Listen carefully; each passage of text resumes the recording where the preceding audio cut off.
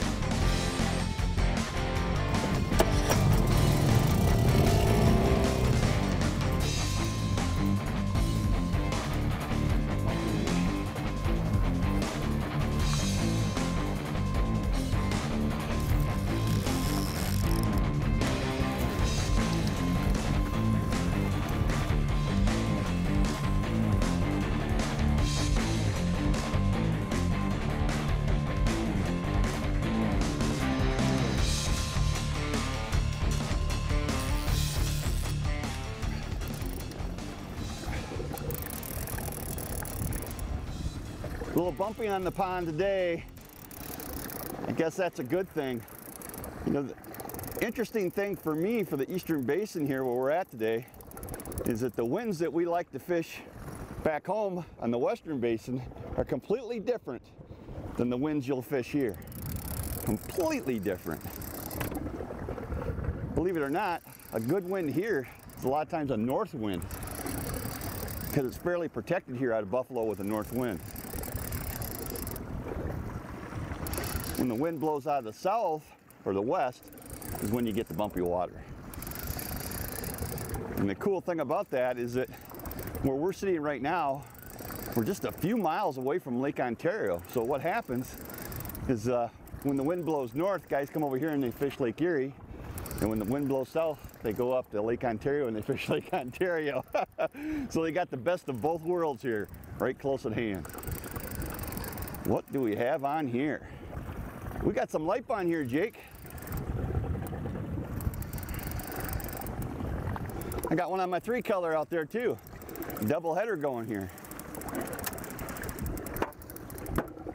He's right here, Jakers. This looks like an eating class fish. Coming. Nice fish, Dad. Yeah, that's a, good, way to that's start. a good start. like I said, a good place to start. An eating class fish. I don't know if we want to keep any today or if we're just going to let our fish go. Want to just let our fish go today? Yeah, just let him go today. Yeah. Yeah, we're just going to let that guy go. He's a lucky, lucky walleye. We'll see you next year. So you know we're fishing night crawlers today, and, and uh, normally when you fish live bait, you wouldn't think you'd have to add scent to it. Um, but the reason why we're adding Procure here is actually a good reason. Night crawlers, of course, have a strong odor, but we pack, we take them out of the packing, the dirt, and we wash them and then put them in a cooler with ice water. And the reason we do that is it keeps the boat nice and clean. Um, but it also has the effect when those crawlers are sitting in the water for a long time, they don't have much odor anymore. So taking some Nightcrawler Procure scent and juicing that up a little bit brings back that scent, of course, and puts that scent stream in the water. It works beautifully. And uh, Procure makes a, a wide variety of different scent products. Um, but here, when you're fishing night crawlers, obviously you want to use Nightcrawler scent. I had to tease that one in the biting, Dad. that, that's a good thing. this is on that bottom bouncer rod. And tell you one thing, normally when I fish a bottom bouncer, you know, a number two, a three, a four ounce bottom bouncer is a big bottom bouncer. But we've actually been trolling a lot faster than what I would normally troll a Colorado blade, and it's working really well. These fish are biting it. But to keep that 45 degree angle that I like to keep with a bottom bouncer, I went up to an eight ounce bottom bouncer. Kind of like fishing a downrigger ball down there for walleyes, but it's keeping that right angle. It's working good. Welcome to the Eastern Basin.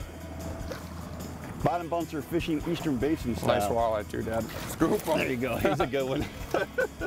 good job, Jake. Well, that's not a bad fish right there, Dad. I'll take those cookie cutter size walleyes any day of the week. But what caught that fish was a bottom bouncer. And I think a bottom bouncer is one of the most popular things to ever catch a walleye. No matter where you take it, bottom bouncers work. But this is a little bit different. I'm gonna put him back in the net. And I'm gonna pull this bottom bouncer up here. This is an eight ounce bottom bouncer. Definitely not the norm in walleye fishing, but you know, we're fishing that 45 to 50 foot of water and we're pulling these Colorado blades at two miles an hour, which is really right at the max you can really pull a Colorado style harness. Uh, but that two mile an hour speed with a bouncer, you really wanna keep that 45 degree angle. One of the mistakes I see with bottom bouncers is I think guys take it as a finesse program, and it really isn't. It's what you want is you want that bottom bouncer at a 45 degree angle, and you want that bouncer actually just ticking the bottom and keeping that harness in close proximity to the bottom. If this bouncer is dragging and you use too light of a weight, well, you'll get zebra mussels and then you won't catch anything. So don't worry about weight. Go as heavy as you gotta go to keep the presentation working right. And here today, it's this big heavy eight ounce bouncer that's getting it done.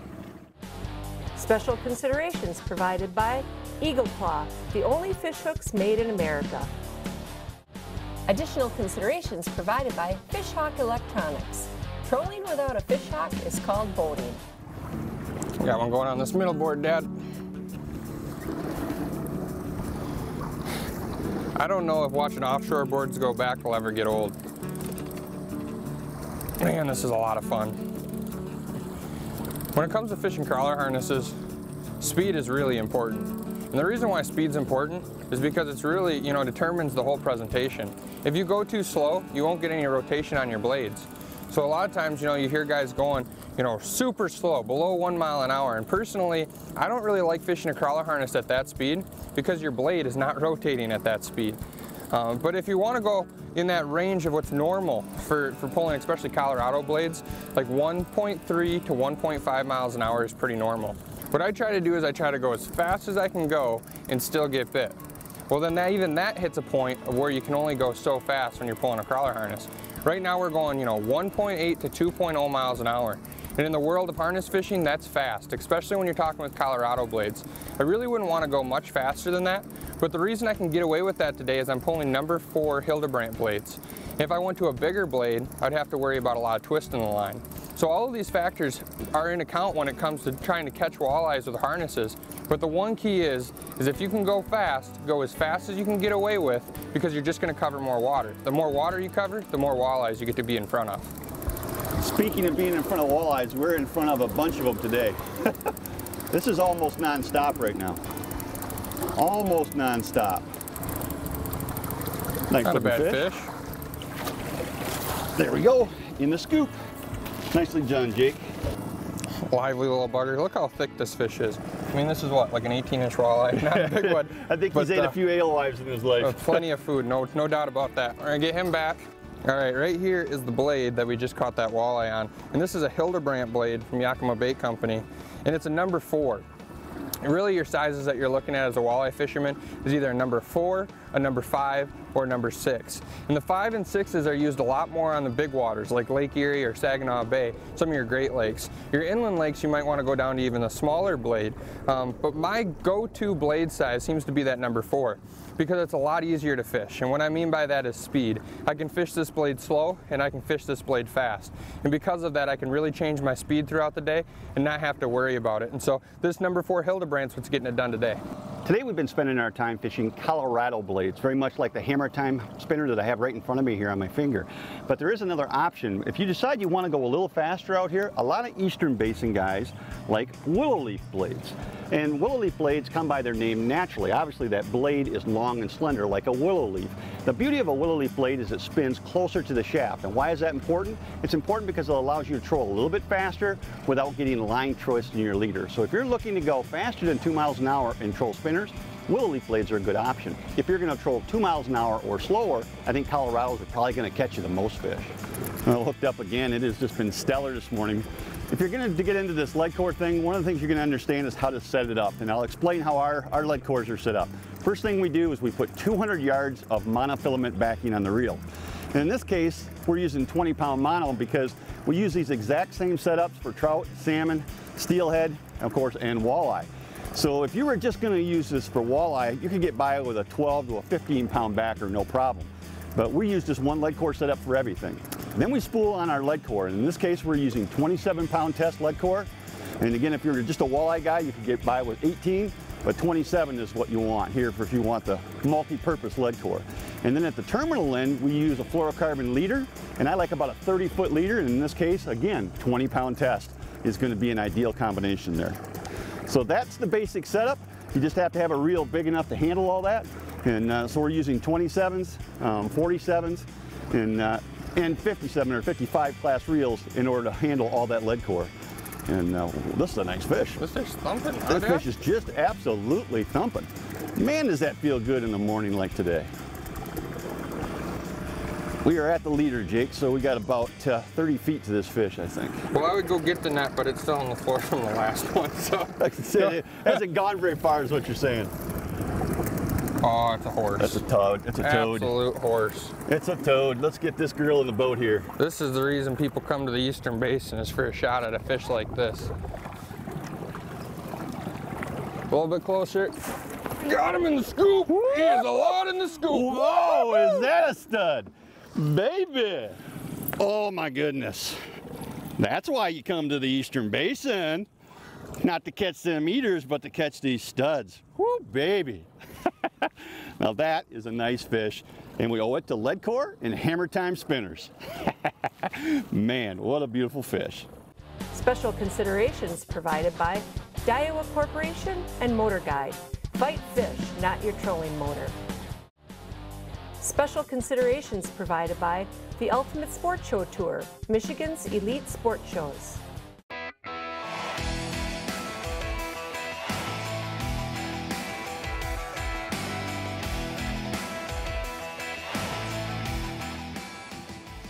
Claw presents the 411 on fishing.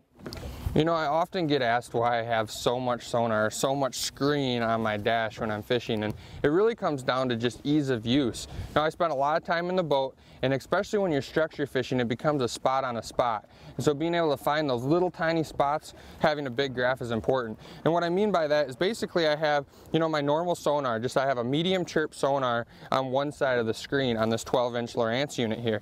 And that's gonna show me fish that are up off bottom. It's gonna show me when, when the bottom comes up and I can find that structure with that part of it. But another part of it that's super important is I wanna have structure scan because structure scan is gonna show me those rocks. It's gonna show me those transition edges. And it's even gonna show me those fish that are inside of the rocks. And so there's two different styles of structure scan that I have. I have a side scan that's shooting out sonar to either side of the boat. So I can see if I have rocks on this side or if I have rocks on this side or maybe both. And then I also have a down scan which is directly below that. And what that's going to show me is if I go over some boulders, I might be able to see those rocks and then see the fish that are down inside those rocks. So between these three panels that I have on my 12 inch unit here, I can really see what I need to see down there and figure out where I got to position the boat. And to position the boat, I'm using my XI5 Motor Guide electric motor, and we're anchoring over top of these spots. But all of this technology is teamed together. So I have one graph here that's got all my sonar. I have another graph here that's got my GPS so I can find those plot trails, find those waypoints, and sit right on the perfect spot. And then I have it all networked together so when I want to anchor, I can either do two things. I can use my key fob and I can use this little anchor mode on my key fob or right on my graph, I can anchor right on my graph. So I'm using all of this electronics to really get me in that pinpoint spot to make sure I'm sitting right where I need to sit to catch the walleyes. Of course, anytime we're fishing lead core, we're probably going to be fishing inline planer boards like the offshore board I have in my hand here. And the beauty of it is it allows us to stack our lines out to the side and cover more water. But the problem with walleyes is that they're light biters and it's real easy to drag a fish on a planer board and not know that you have it hooked up. And that's why we have our boards equipped with what's called a tattle flag. When I spin this around, you can see that that articulating flag system is just a spring and a linkage arm that allows this flag to go down when a fish bites. Now that's an important thing. The other important thing is it's very adjustable. There's a lot of different settings here because the spring tension that works with a three color doesn't work with a seven color. And so we adjust the spring tension so they're appropriate for whatever amount of lead core we're using, whether it be three or five or like seven colors what we're using today. So the adjustability of the tattle flag allows us to determine exactly every bite that we get, we never miss a fish. Now that's what you like to see. That board went buried and stayed buried. you got one on too? yeah. Uh, it's going to be that kind of day here on the eastern basin out of Buffalo. well, I tell you what, since this is core, I'm going to go ahead and set this one here and let him hang. and yours is on a bouncer, so he should be there quick. Yeah, you'll be here pretty quick, and uh, another decent fish here. I don't think this is any monster, Jake. I'm not sure how, how big yours was, but uh, um, man, they're fun on, on a bottom bouncer rods, light rods like this. Oh, it's a nice fish, Dad. Lift Let's see if I can get him up. There we go. There you go. Not a bad fish. A little better grade. All right, I'll take care of him if you want to go grab your fish. Chinese fire drill around here. Gotta love it. What a beautiful fish. Most people keep him, but we're gonna let him go. Just in time to get my board, Dad. It's a beautiful thing here this morning. Oh, no. Oh, now you got another board pounding. Man, oh man. Got him dialed in this morning, Jacob. There you go, son. You know, you'll probably hear me say this a lot in this episode, but I absolutely love lead core. And I can't stress enough, so often I hear guys saying they're afraid to fish it because you got to put so much line out. There's a lot of applications you really don't have to put a lot of line out. The longest lead that we have today is a seven color, which is 70 yards of line, um, which might seem like a lot of line, but that's our deepest line. And if you learn how to fish lead core, you can take it basically anywhere in the Great Lakes and be successful. You just change your lengths. You know, if I'm fishing Lake Superior, I'm probably gonna be fishing something like a two or a three or a four color of lead core, real high up in the water column. If I'm fishing Lake Michigan for salmon, you know, I might fish those five, sevens, and 10 colors of lead core. The length of the lead core is just determined, the more lead that's in the water, the deeper it's gonna be. And so you change that up and, uh, and you can catch fish no matter where you're at in the Great Lakes. Oh, nicer quality fish, Jake. Nicer quality of fish. A little closer. Got him. Nice fish. Got him. Now that's a beautiful walleye. He's gonna give us a beautiful fin right there at that morning sun. Absolutely gorgeous. Another lead core walleye bites the dust. This one's not biting the dust though. He's going back. And, uh, and you can come to Buffalo and catch him yourself. Special considerations provided by Trailmaster Boat Trailers and Lakeside Motorsports. Special considerations provided by ProCure, ruthlessly effective bait suds. You know, electronics have really come a long ways, and there's some technology that's out that's very new to the market that's really helped me this year catch more fish just because it gives me a lot more detail. And what that is, is the new fish reveal with Lowrance. You take your HD units and you do the update and you get that fish reveal. Now what is that? Basically what fish reveal is, is it's downscan imaging that's overlaid to chirp sonar. Now here's the benefit of that. Chirp sonar is something that's, again, relatively new, but I've been using it here the last three or four years, and it has better target separation. Target separation is a huge thing when you're walleye fishing because if you're looking at fish at bottom, you know, if you only have one sonar signal going down and you don't have very good target separation, what happens is the walleye become the bottom and you really can't separate the difference between fish and bottom. So that target separation will separate the fish up off bottom and it makes it easier for you to see that fish. Downscan imaging has exactly the same characteristics, but for a long time it really didn't mark suspended fish very well. And by taking the new fish reveal and combining the downscan imaging with the chirp sonar, you kind of get the best of both worlds. If if I'm marking a ball of bait that would just show up on the chirp sonar, on the downscan imaging, you can actually mark the individual bait and then see the fish inside of that bait. So just the more details helps you put together that pattern throughout any given day. That is a stud. This is a good fish, Dad. Yep. This is a Just real keep good him coming. fish. This is the way he's got. You got about five more feet to the to the leader. Throw him left if you can, son. A little more. I can't get him. A little more left.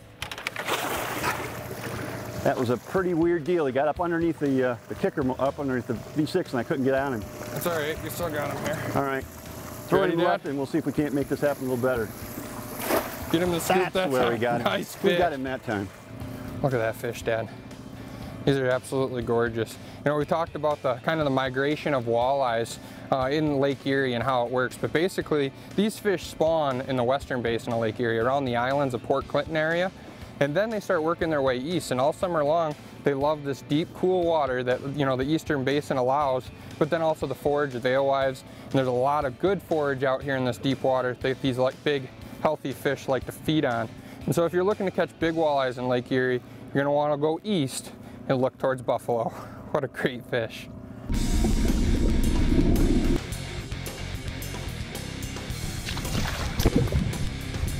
Nice fish. Look, look, you got him in the scoop. Nice fish. Reel all the way to the swivel if you can. Keep him coming. A little bit more. Lift. Oh, oh, Ooh, oh, he oh. did not like that. There we he go. I think we got him on that. this round, Dad. You ready? Yep. Put him in the scoop. Yes. Nice fish. Beautiful fish. And Jake. off in the basket too. What a giant fish, man. That is so awesome. This is the reason you come to the eastern basin of Lake Erie. These walleyes live here all summer long. You know, there's a lot of places you can catch big walleyes on Lake Erie, but if you want to come in the summertime and you want to catch big walleyes, this is the place to be. Hey, my name is Jake Romanack, and you've been watching Fishing 411 TV. We'll see you here same time, same place next week. Closed captioning provided by Lakeside Motorsports, Michigan's premier marine and power sports dealer. Fishing 411 is brought to you by Offshore Tackle Company, Evinrude Outboards, Starcraft Marine, Cisco Fishing Systems, Yakima Bait, Jay's Sporting Goods, Niagara Falls, USA, Smooth Move Seats, Lowrance Electronics, and by Precision Trolling Data. Sweet Lake Erie walleye. Back he goes. Catch him another day. Woo-hoo.